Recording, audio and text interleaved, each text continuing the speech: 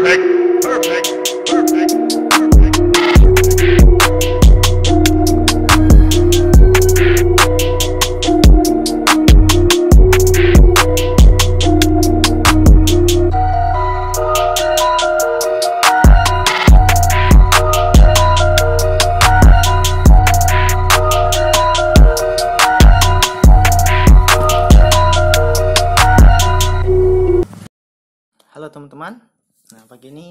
Belanja lagi yaitu spare part Jupiter set. Yang pertama oli Yamaluk silver.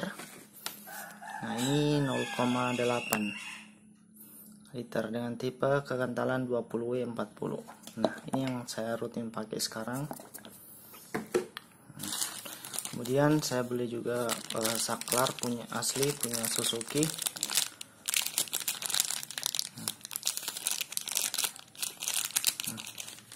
kemudian filter oli. Di sini filter oli ada yang palsu dan ada yang asli. Nah ini yang palsu ini yang asli. Nah secara garis besar eh, filter oli ini hampir sama. Gasnya sama dan uh, saya akan membahas di video selanjutnya oke okay? nah video kali ini saya akan membahas tentang perbedaan antara uh, filter oli yang palsu yang saya, saya beli dengan filter oli asli dari Yamaha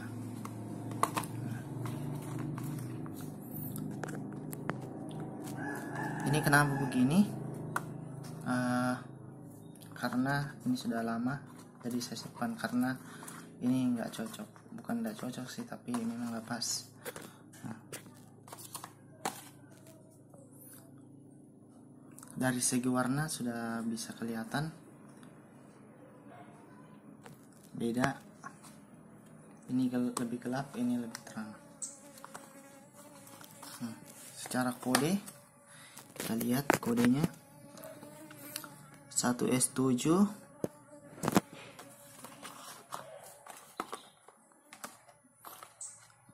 1 S7 E3 44000 ini juga 1 S7 E 34400 dan dikemas ini nomor uh, pengemasannya. 150517 ini adalah tanggal dikemasnya 2018 bulan 7 tanggal 5 ini 2017 waktu itu saya beli kemudian uh, di sini ada satu PC PC itu PCs nah, ini elemen AC oil cleaner. Ini secara garis besar hampir sama. Hmm.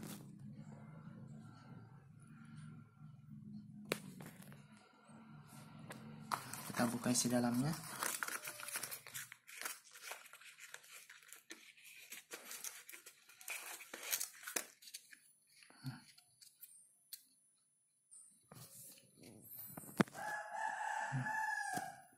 ini yang baru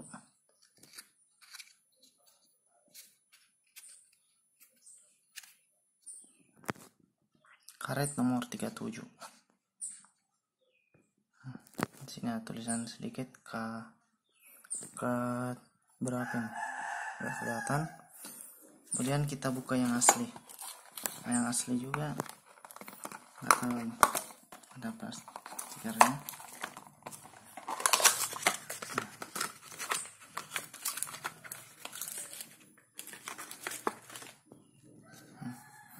Ini bentuk yang asli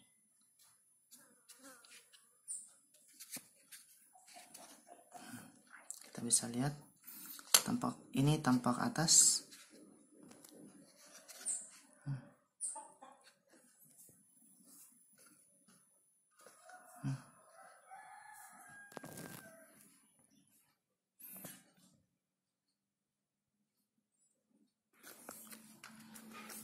Kita lihat tampak atas ini. Ini agak besar ini agak kecil sedikit kemudian warna tinta yang digunakan di dalamnya berbeda. Kemudian yang uh, asli maha ada titik di sini. Hmm. kemudian dari lebar juga. Nah dia maha sendiri ada titik juga di sini. Sedangkan di yang biasa tidak ada titik titik hitam seperti ini. Hmm. kemudian tampak atas yang yang biasa itu yang biasa ada nomornya dan yang asli dan nomornya.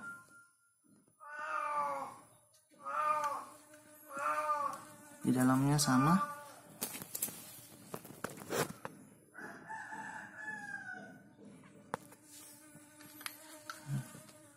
warna juga berbeda.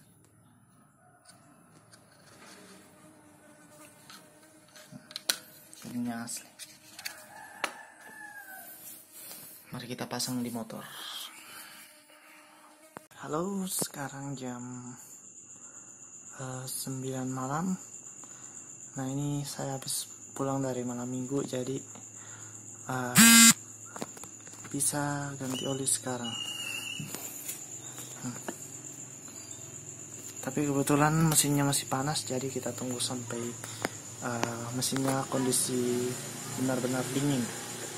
Jadi jangan pernah melepas baut oli atau baut apa pun dari mesin pada saat kondisi panas karena itu bisa menyebabkan motor slack jadi uh, kita tunggu sampai dingin kemudian kita buka bautnya. Jadi besok pagi bisa kita ganti semua kenapa kita kasih bermalam? Biar uh, oli yang kotor bisa keluar semua. Oke? Okay? halo selamat pagi teman-teman. Nah sekarang kita sudah uh, mengganti oli. Ini kayaknya sudah bersih betul. Jadi kegunaan dari standar samping ini juga bisa digunakan untuk memberingkan motornya ini akan keluar secara maksimal.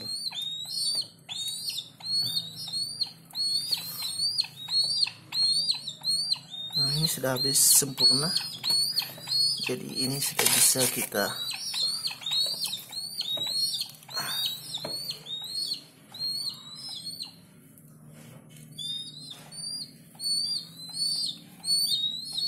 oke. Sudah beres nah sekarang kita buka saringan olinya. Nah ini kita sudah siapkan tisu. Uh, ini saringan filter oli yang asli. Dan kunci T nomor nomor 8 jadi ada yang bertanya tadi ini uh, ada yang besar ada yang kecil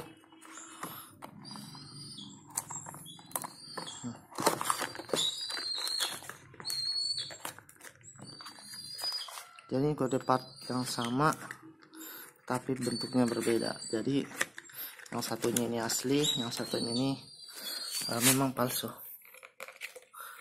Kita lihat yang besar yang kecil. Ini yang palsu yang asli. Jadi ini enggak cocok. Masuk di motor. Mari kita buka. Jadi kita buka yang ini menggunakan kunci T jangan menggunakan kunci pas atau apa. Putar berlawanan arah jarum jam.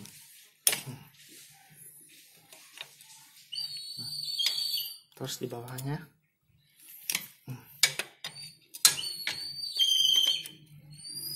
Kita uh, sengaja membuka pada saat dingin supaya uh, si baut tidak selek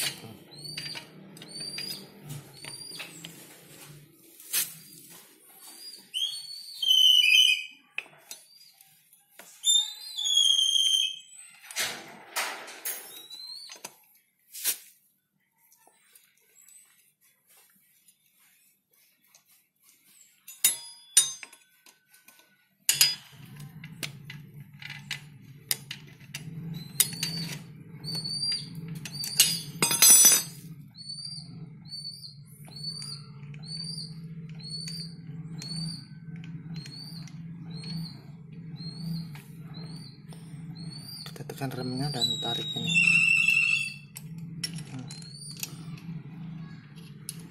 Ingat eh, kita susun sesuai tempatnya. Ini agak panjang. Ini di depan tadi. Ini agak pendek. Ini di atas. Dan ini di bawah. Kenapa saya sengaja menyusun begitu karena biasanya uh, masukan baut itu uh, ada yang berbeda-beda juga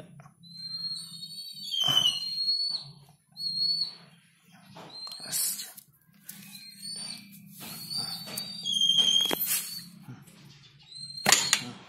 ditarik keluar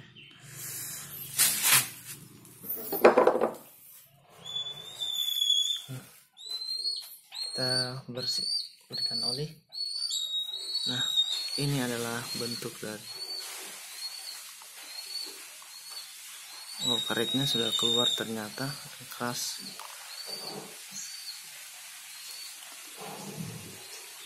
Ini nih eh,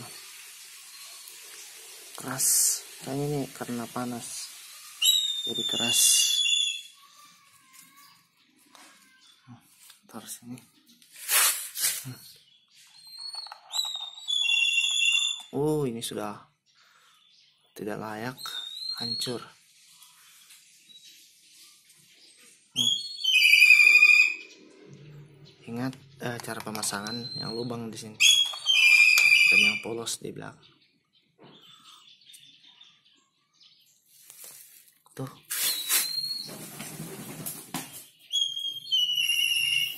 Kemudian bersihkan menggunakan tisu karena biasanya empat bagian paling kotor tuh di sini karena ini empat penyaringan. Empat penyaringan gram-gram besi akibat pergeseran dari mesin.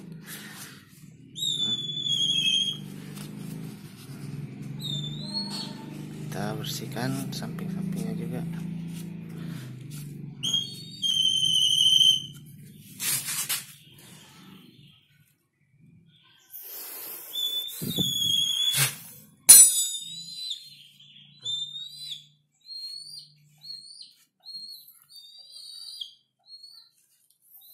kita harus bersihkan baik-baik nanti ya.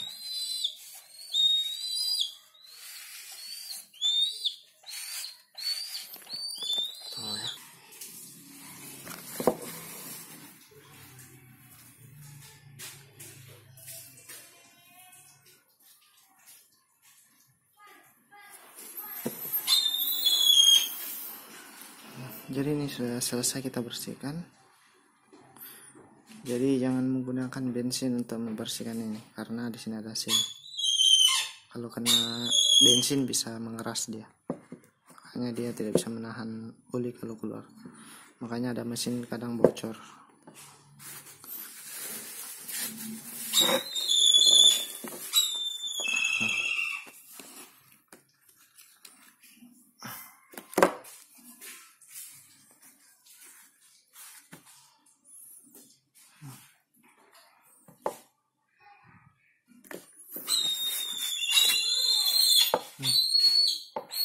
bisa kita lihat perbandingan filter yang lama dan filter yang baru. Hmm. filter yang lama sudah hancur seperti ini. Hmm. ini kalau nggak diganti bisa robek ini. Yang baru.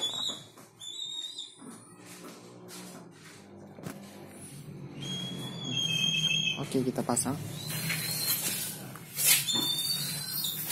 jadi cara pasangnya ini yang bolong di luar dan yang polos di belakang. Nah, begini jadi kegunaan filter oli ini dia menyaring eh, kotoran atau gram-gram besi akibat pergeseran di dalam mesin. Jadi oli bersirkulasi lewat sini kemudian keluar lewat sini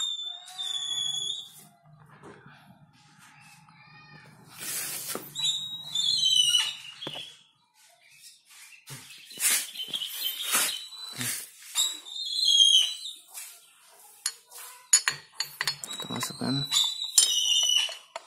Kita periksa apakah si silnya tidak keluar. Oke selesai. Kita masukkan.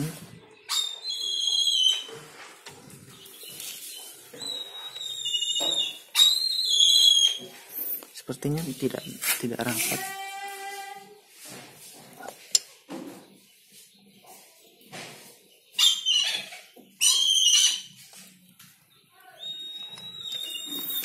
sepertinya tidak rapat.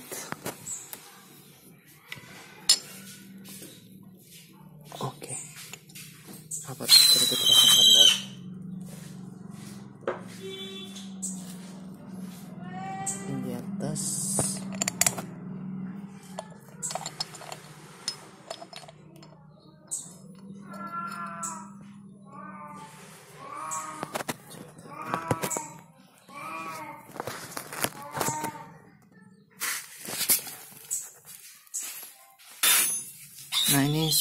masuk jadi ini belum pengencangan. Kita anukan dulu. Kita kencangkan dulu.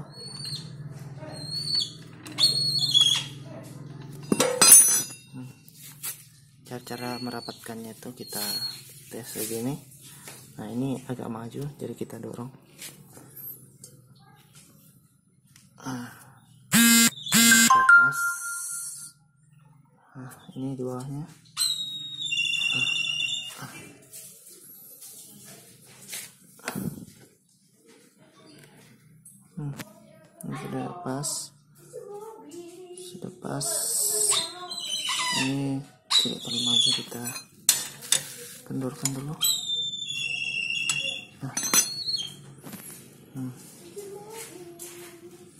Nah, ini sudah pas.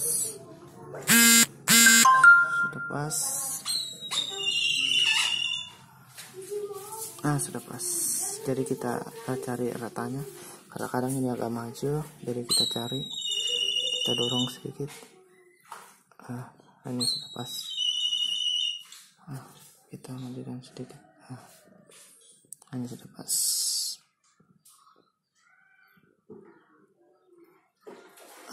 kita dorong kalau ini nggak pas kita dorong sedikit Nah, kita putar kencangkan.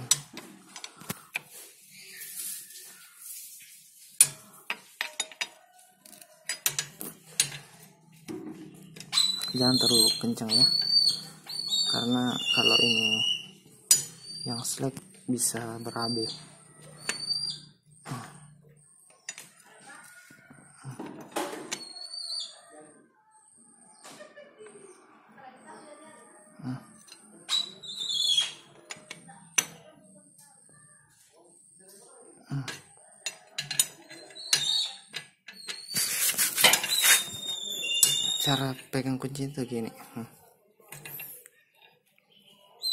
Gini. Cara pengencangan tuh gini. Jadi jangan pegang gini. Karena bebannya semakin berat. Jadi pegang gini gini agar bebannya sesuai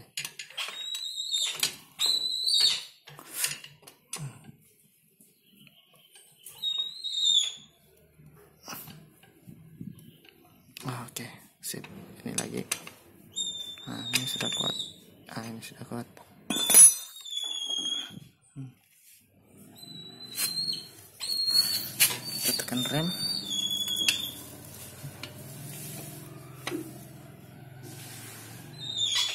Oke, pas. Kita bersihkan. Ah, sudah pas semua.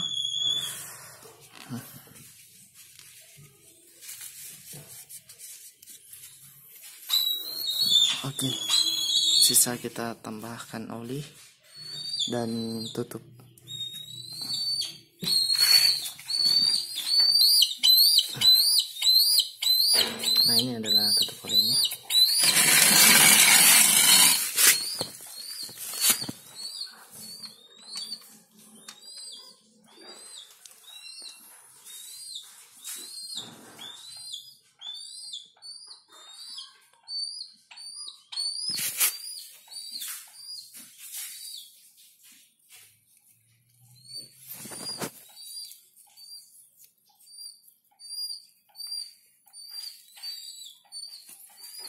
Kita pengencangin lagi.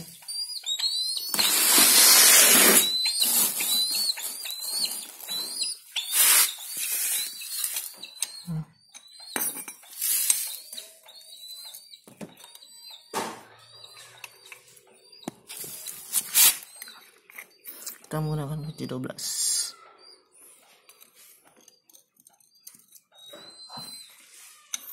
yang pengencangannya itu kita tekan tahan di sini. Gini terlalu keras. Hmm, jadi kita pengencangan di sini. Jangan kita tarik di sini. Di sini.